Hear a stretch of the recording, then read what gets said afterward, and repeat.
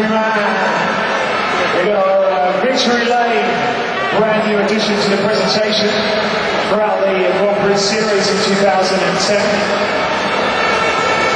Stand by, folks. Don't shoot off anywhere. We've got the uh, trophies, and champagne, and of course, we've got a big fireworks finale still to come tonight.